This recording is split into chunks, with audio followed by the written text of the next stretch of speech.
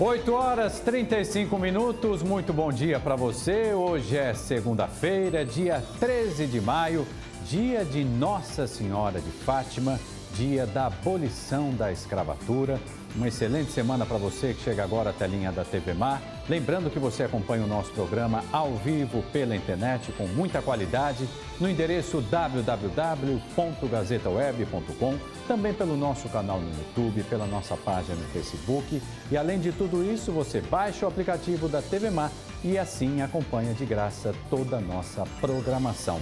Um beijo também muito especial para você que acompanha o nosso programa pelo canal 25 na NET. Olha, você pode nos ajudar utilizando as nossas redes sociais e eu estou olhando ali porque o Márcio Andrei vai mostrar o tempo aqui na nossa capital no início desta semana e você vai ver aí nas imagens do azulino que só empata o Márcio Andrei que chove neste momento na capital alagoana. Choveu bastante durante a madrugada na região metropolitana e também na nossa capital. A mamãe do ano, a Polane Santos, já já com a previsão do tempo, vai dizer para nós se o outono de fato começou, se a quadra chuvosa, enfim, chegou. Não dá para dizer ainda, mas já já a Polane Santos chega com a previsão do tempo.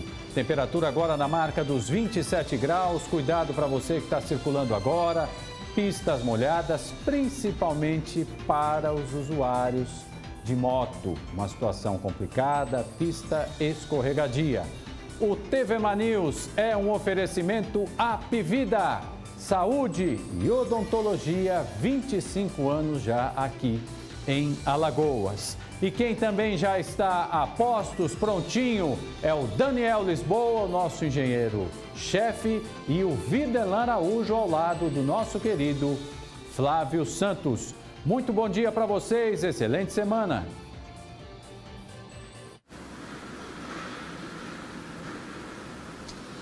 Um abraço para você, Mauro Vedequim. Ótimo dia para os telespectadores da TV Mar Canal 25. Nós estamos ao vivo no tradicional e histórico bairro de Jaraguá. Daqui a pouco nós vamos trazer informações a respeito de uma audiência pública que ocorre na Câmara de Vereadores, onde se trata também das questões relacionadas à sexualidade, principalmente a prevenção ao combate à violência sexual a crianças e adolescentes. Em uma ação, a audiência pública convocada pelo vereador Ciderlane Mendonça. Daqui a pouquinho nós vamos trazer detalhes aqui aqui na sequência do TV Mar News a respeito desse assunto. Mas antes, quero lembrar que a segunda-feira também promete ser movimentada em Maceió. Lembrando que, passadas todas as emoções no final de semana do esporte, quando o CRB venceu no sábado a equipe é, do, do, Brasil de Pelotas e o CSA ficou no empate em 0 a 0 com o Havaí. Daqui a pouco você vai falar de esportes também, tenho, tenho certeza disso, no TV Mar News. Nós vamos também trazer outro assunto importante e que mexe no bolso. A Secretaria de Estado da Fazenda, a Cefaz, realiza nesta segunda-feira, dia 13, um sorteio especial da Nota Fiscal Cidadã, em comemoração ao Dia das Mães. Somados os prêmios, chegam a mais de um milhão de reais. Todo mundo sabe que a Nota Fiscal Cidadã, todas as vezes que você vai no balcão fazer algum tipo de compra, a pergunta básica da pessoa que está te atendendo é: quer CPF na nota?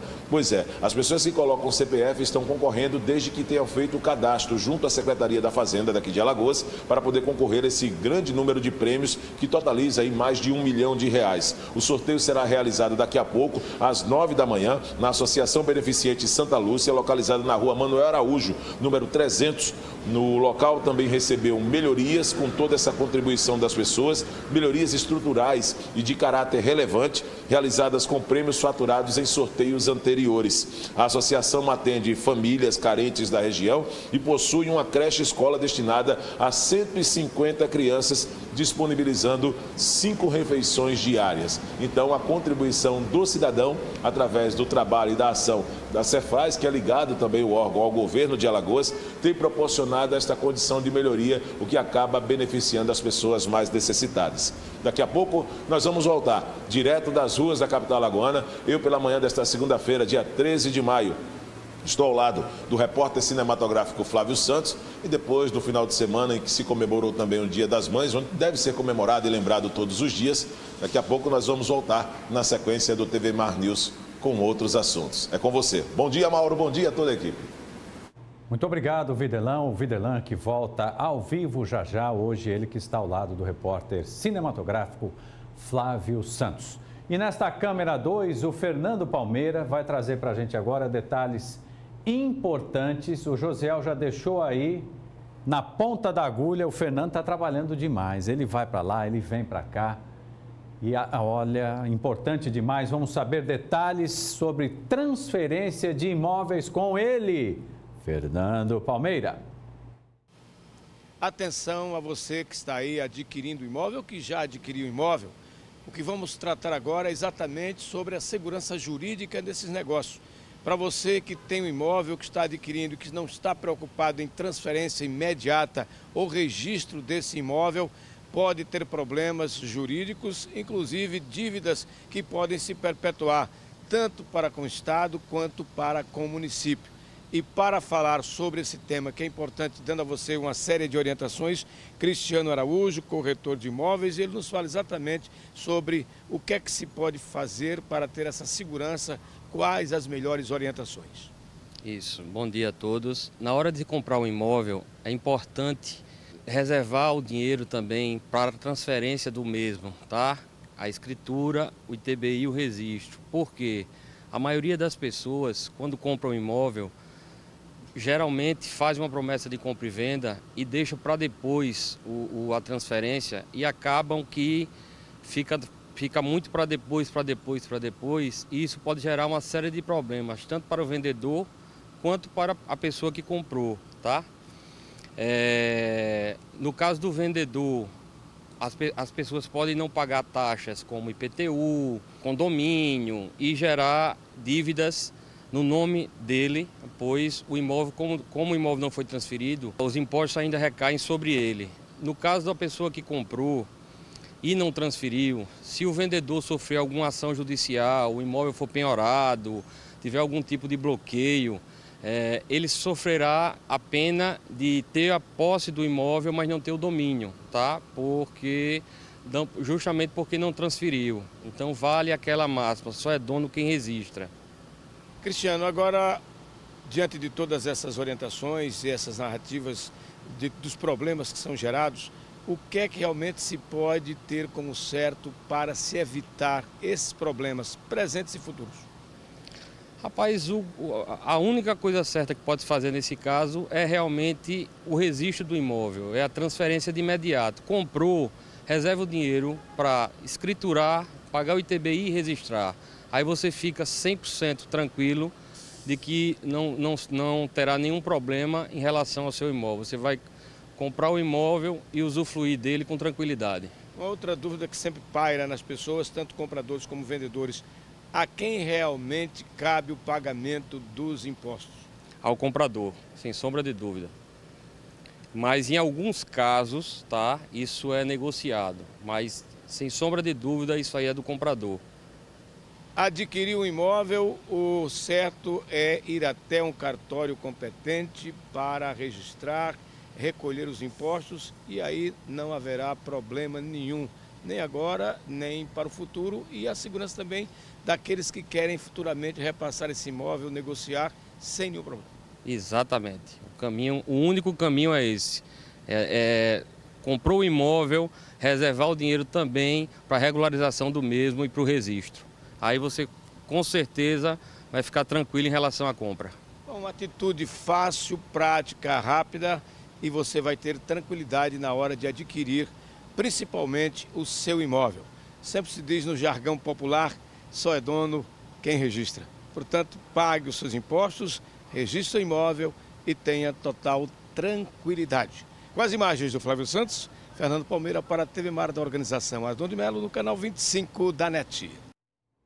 Tá aí, muito obrigado ao Fernando Palmeira. O Fernando definiu muito bem, né? Só registra quem é dono, é a máxima popular. Ah, Mauro, mas eu não tenho como registrar. Dá um jeito, meu amigo, dá um jeito. Que se você não registrar, não é teu. Essa é a realidade aqui no nosso país. Na câmera 2 a gente vai ver o trânsito, né, Josiel? Já temos aí o trânsito.